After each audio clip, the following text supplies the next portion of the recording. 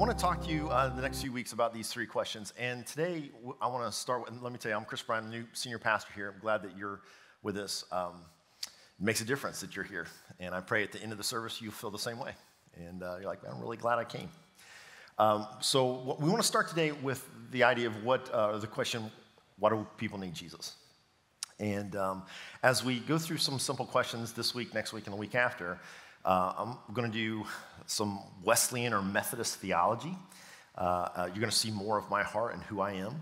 Uh, and at the end of the day, though, I'm really hoping to help you answer these questions.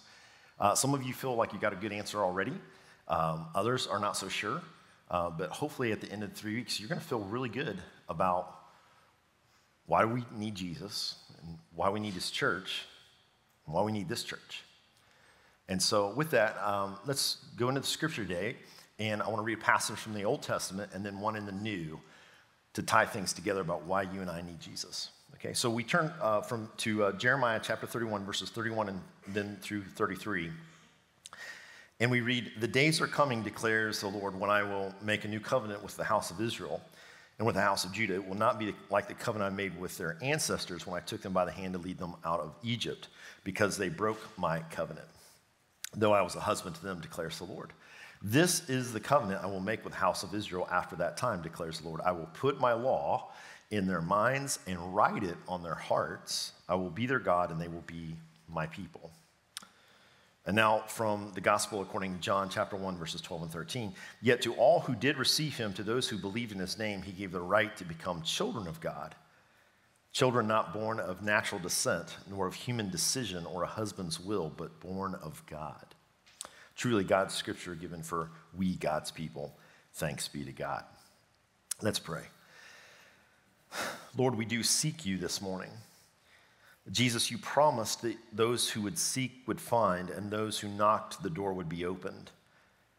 Convince us this day by an outpouring of your Spirit, not by lofty words or wisdom of this particular preacher, but rather truly from the power from on high.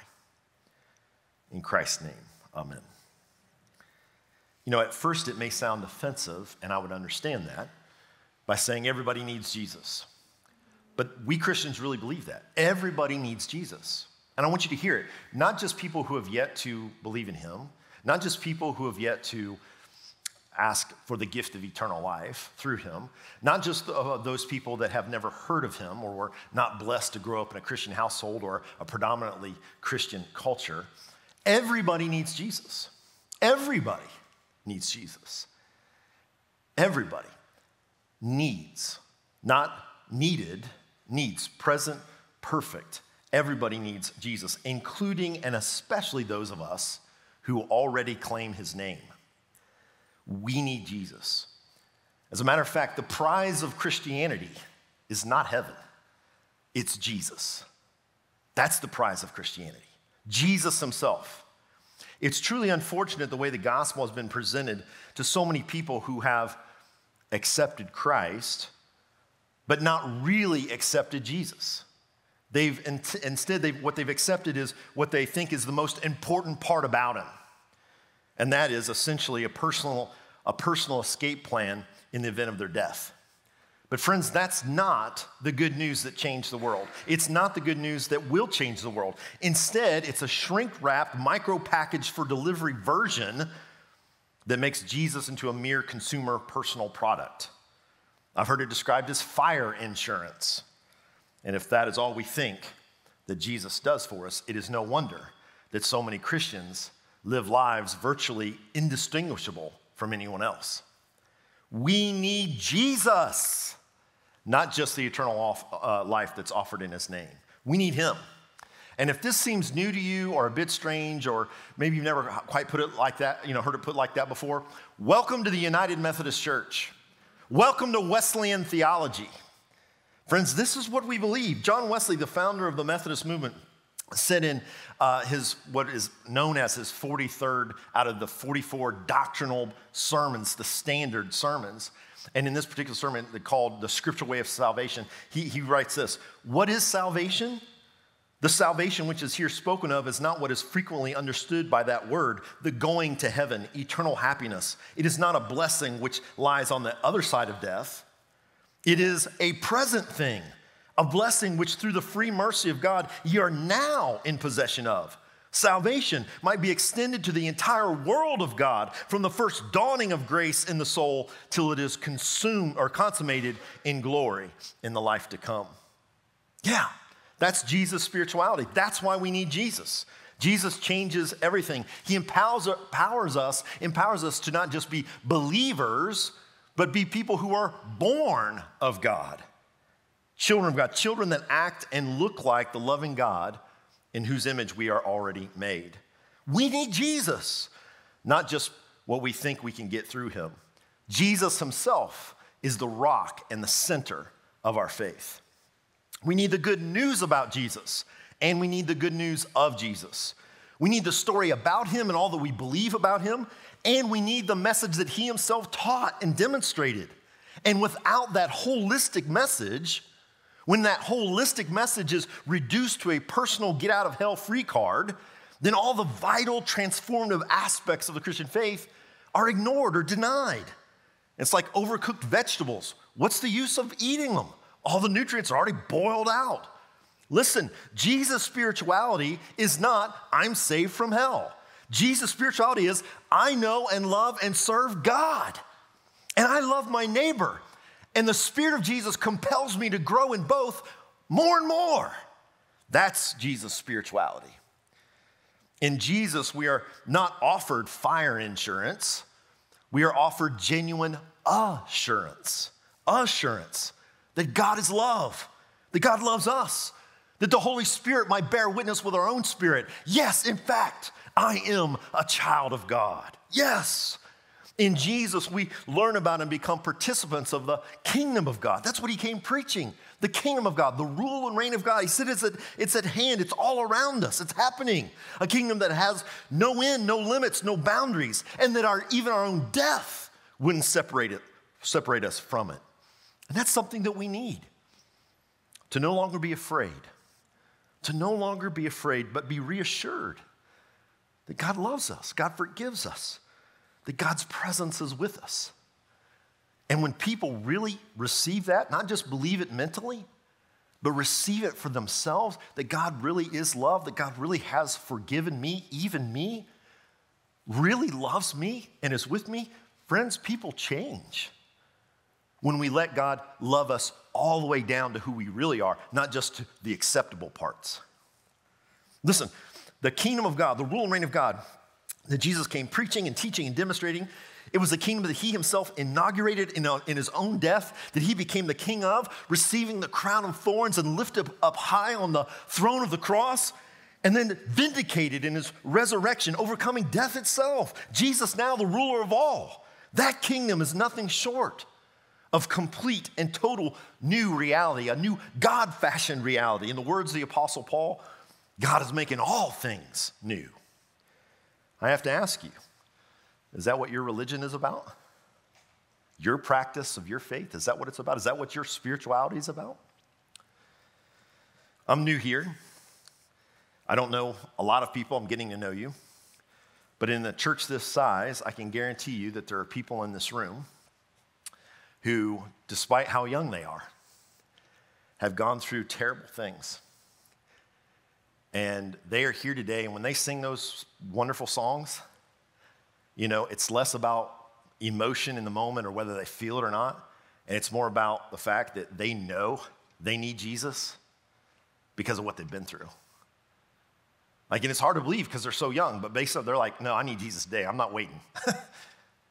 And there's older folks in this congregation. I guarantee you, older folks that have a gentle smile, you know, gentle spirit about them, you know, you would never know. But if you peeled back the layers and you discovered the terrible things that they've lived through, and they're in worship and you ask them, they're not waiting to die. They need Jesus today. They're in worship because they need Jesus today. You know, it's like I, I think I said this in the very first sermon with you. One guy shared in his testimony with me. He said, You never really know that Jesus is all you need until Jesus is all you got left. Or, or like the expression goes in the recovery movement religion is lived by people afraid of hell, spirituality is lived by people who've been through it.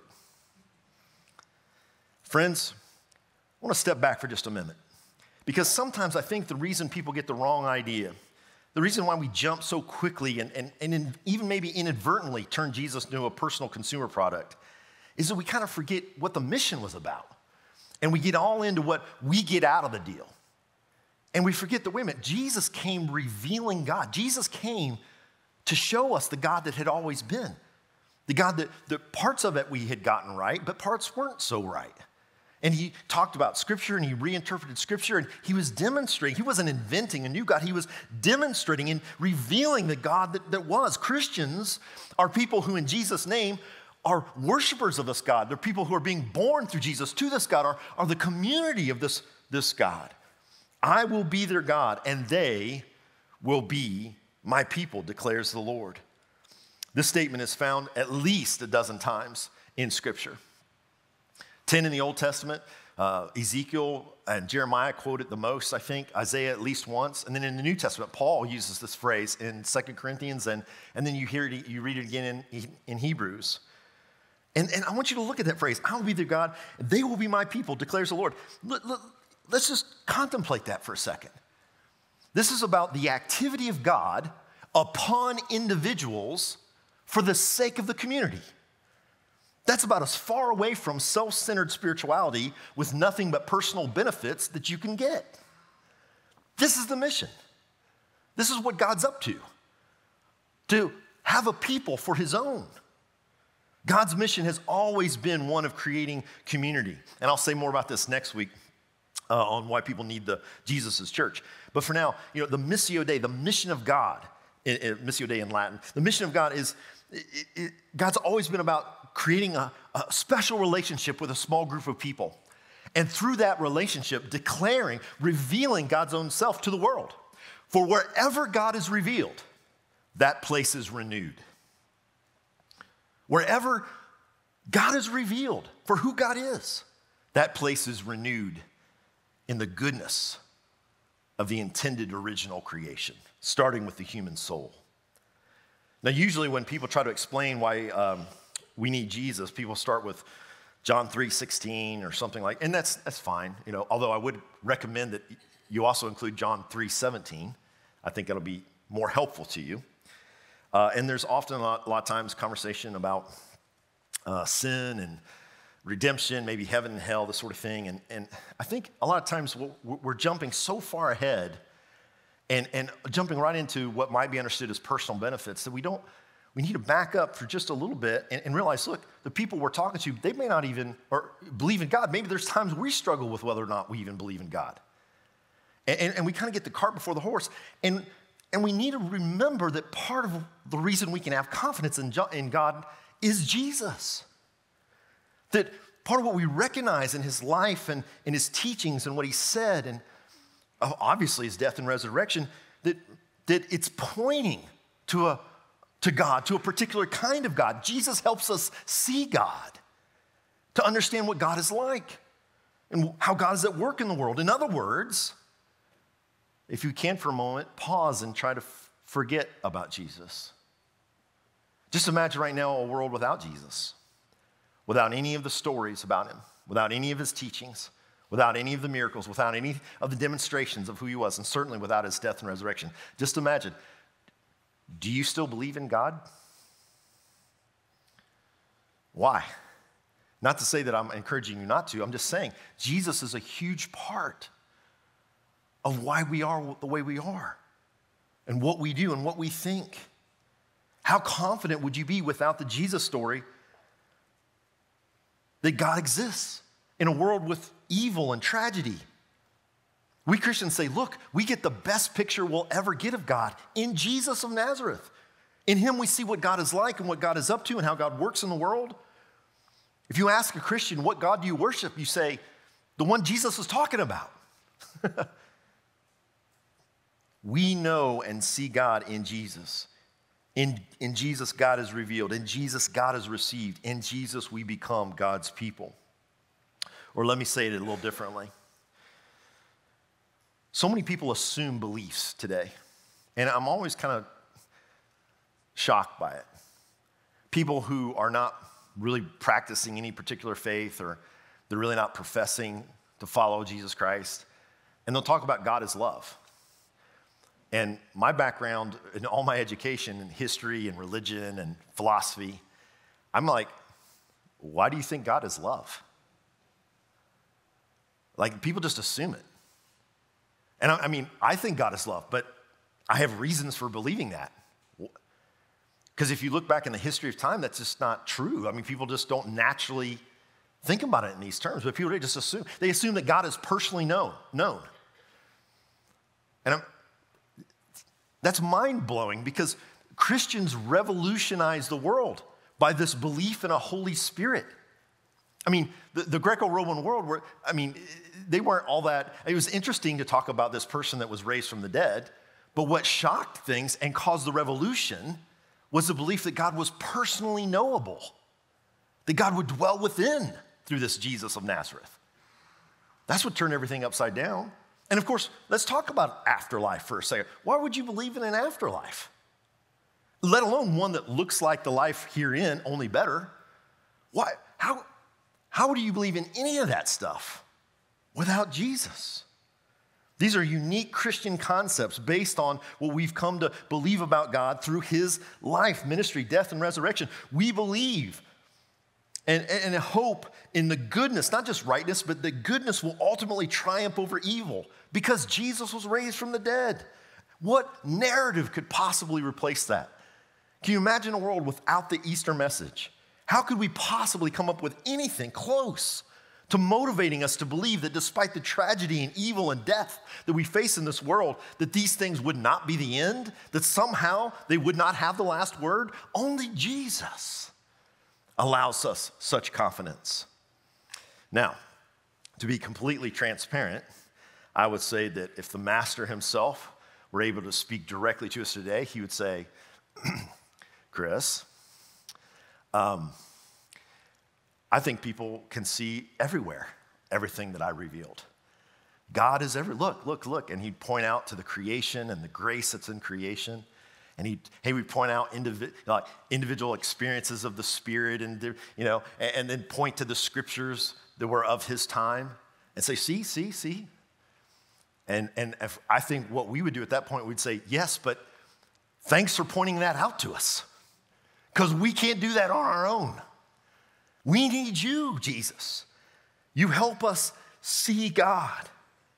You help us understand the character and the nature of God.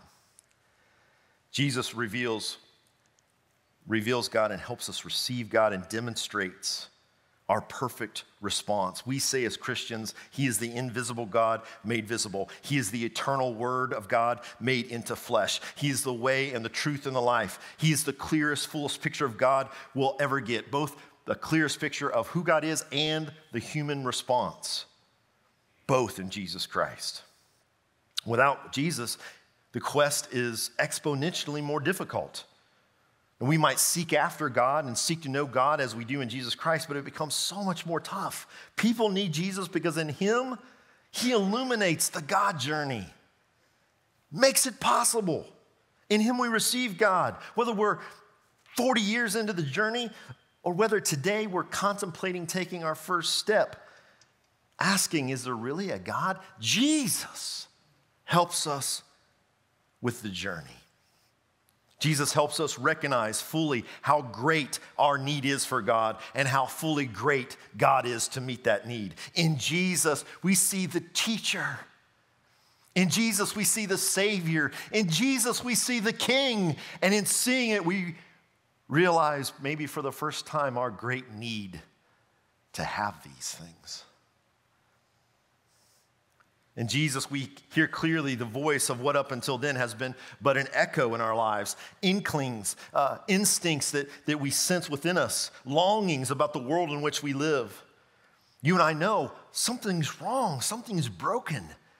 I mean, we can feel it, and it's absurd to deny it. In this world, innocent people get convicted and guilty people are let off and bullies find a way out of trouble and, and victims spend the rest of their life coping with sorrow and hurt and bitterness. And, and we long for and spend gobs of money and energy on lasting relationships. And yet nearly always we find them difficult to maintain. Marriages made in heaven sometimes end not far from hell. Countries invade other countries and get away with it. We say that money and power are not good things to strive for. And yet the only example of sin that is actually seems punishable is not having enough money and power. And so we dream of a world that would be different, where things would work out, where society would function fairly and efficiently, where we would not only know what we ought to do, but actually do it.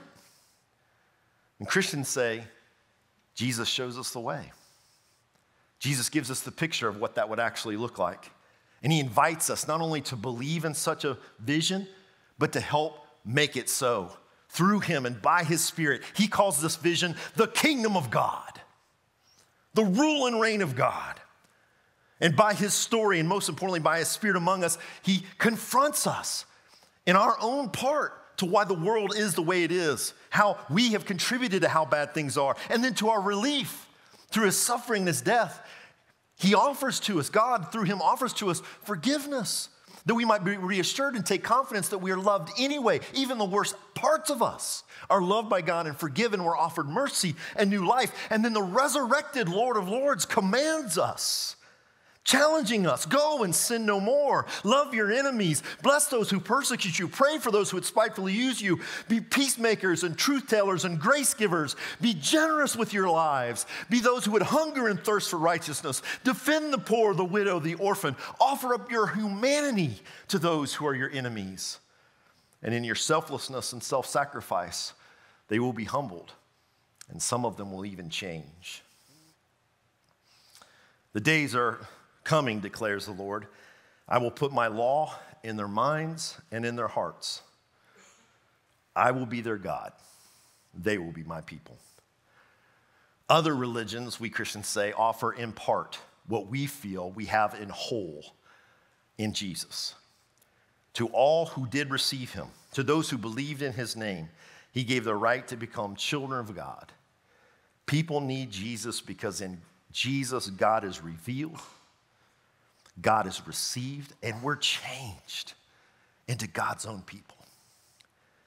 I was reminded recently of a story I heard a long time ago, and you may have heard another preacher use this at some point, and if you have, you won't mind me using it again. It's a good story. A Christian in South China had a rice field in the middle of a hill. In the time of a drought, he used a water wheel worked by a treadmill to lift the water from down low up to high, a higher area where his fields were. He had a neighbor who had two fields below his. One night, after he'd pumped the water into his own fields, his neighbor made a breach in the dividing bank so that the water he'd pumped into his fields drained into the neighbor's. The next day, the Christian went out and repaired the breach and once again filled up his fields with water. Yet, a few days later, when the lower fields need watering again, his neighbor simply made a breach in the wall and let the water drain into his own fields. This happened three or four times until the Christian finally approached his neighbor and said to him, I've tried to be as patient with you as possible and not retaliate, but, but is it right what you are doing? But then, after praying about that conversation and the neighbor's response, the Christian decided, you know, if I'm only seeking personal justice for me, I'm not really being as fully a follower of Jesus as I should be. And so, when the time came for watering the next opportunity, he first watered his neighbor's fields, and then he watered his own. And two things happened after that. He never had to worry about repairing the breach again, and in time, his neighbor became a Christian. That's Jesus' spirituality. That's why the world needs Jesus. Because in Jesus, God is revealed.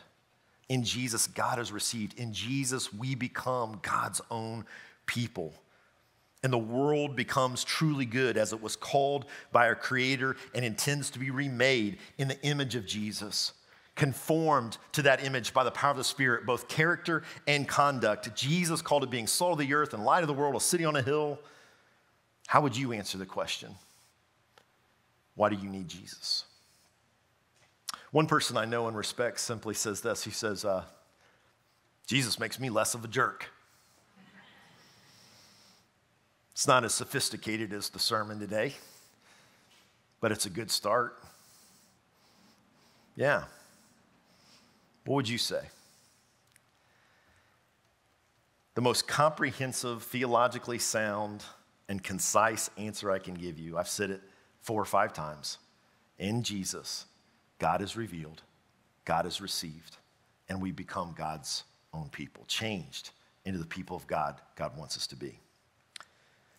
And you know what? Yeah, that, that makes me less of a jerk. In fact, in Jesus, when I listen to him and I surrender more and more to him, I find myself being compelled to become the best version of myself. I feel within me a new power source for living that helps me accomplish or move towards that goal in a way that I couldn't do on my own. In fact, I've, I've discovered that the more I get into Jesus, the more he tends to come out of me. And that gives me hope. It gives me hope for my life. It gives me hope for wherever his people are.